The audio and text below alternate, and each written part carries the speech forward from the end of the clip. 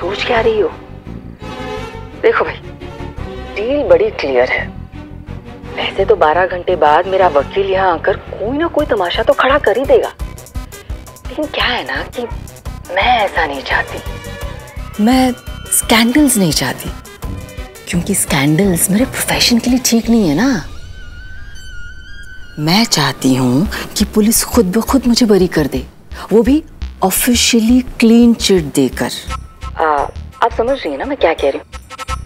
देखिए मैं आपको बता दूँगी कि लड़का या लड़की बदले में आप मुझे इस सारे झंझट से बाहर निकालो। हुँ? अगर कोई प्रॉब्लम हो गई तो? अरे पंद्रह साल से हूँ। इस प्रोफेशन में डियर समझी? कोई प्रॉब्लम नहीं होगी। का वो चेक करो ठीक से। मेन कनेक्शन चेक करो।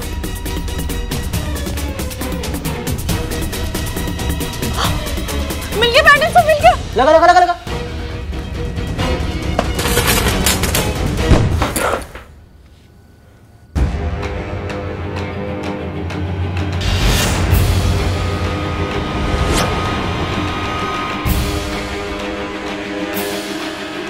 लाखों करोड़ों का खेल है ये।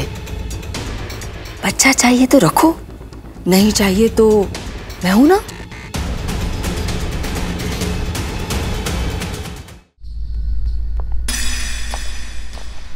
मैडम सर ये सब? मैडम सर कुछ नया करने का ट्राई कर रही थी।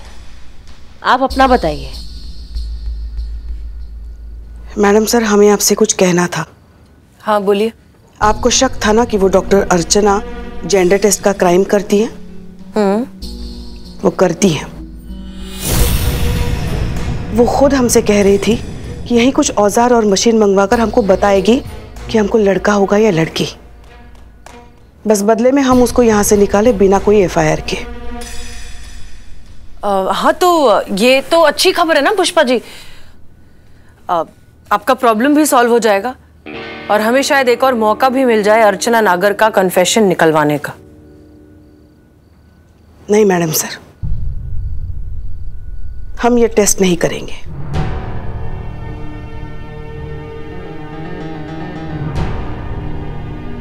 क्या मतलब? मतलब ये कि कोई चाहे इसे गलती कहे या पाप लोग इसे ताने दें या गालियाँ हम इसे दुनिया में लाकर रहेंगे। हम अपने बच्चे का जेंडर टेस्ट नहीं कराएँगे, मैडम सर।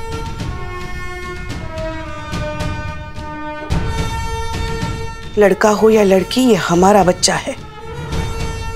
और हम अपने बच्चे को इस दुनिया में लाकर ही रहेंगे। फिर चाहे कुछ भी हो जाए। काश हमारे देश की सारी औरतें, जो खुद कभी ना कभी इस सिचुएशन से गुजरती ही हैं, आप जैसा सोच पाती और ऐसी हिम्मत पैदा कर पाती। लेकिन पुष्पा जी अब वक्त आ गया है कि आपको सच पता चले। और सच तो ये है कि आप प्रेग्नेंट नहीं हैं। ये सब एक नाटक था।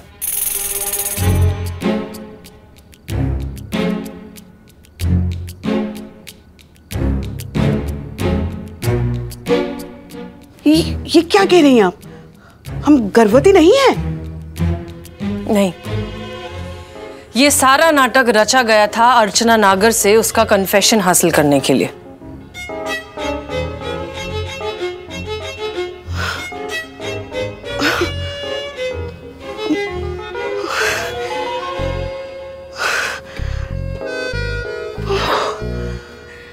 अच्छा हुआ मैडम सर, आपने बता दिया कि हम गर्भवती नहीं हैं।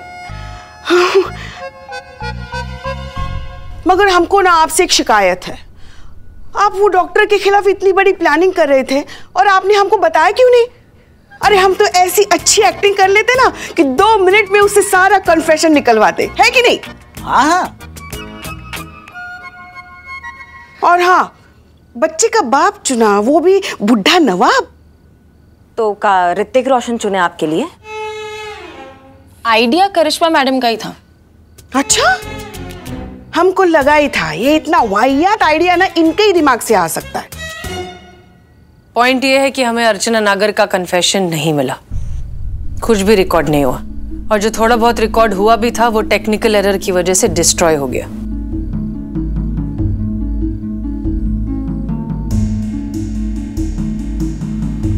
और पुष्पा जी, आपकी एक्टिंग स्किल्स को देखकर हम दोबारा रिस्क नहीं ले सकते। सो ऑनेस्टली हमारे पास अर्चना नागर के अगेंस्ट कुछ भी नहीं है। ना कन्फेशन ना कोई रिपोर्ट और ना ही कोई एफआईआर हम हार गए।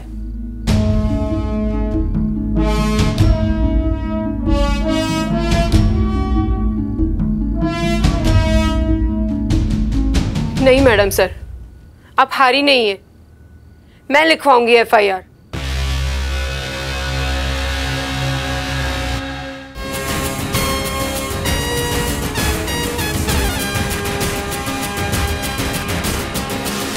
देखिए मैडम लास्ट वार्निंग देने आए हैं।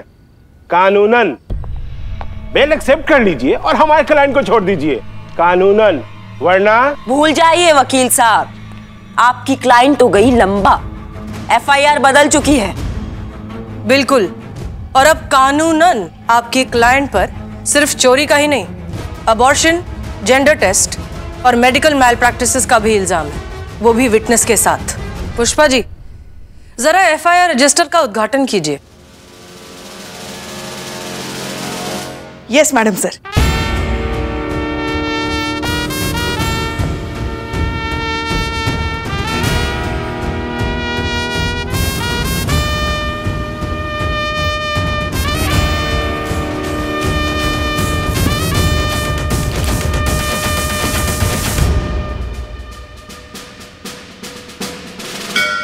sub inspector Karishma Singh.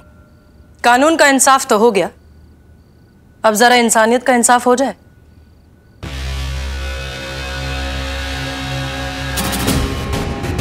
जी मैडम सर।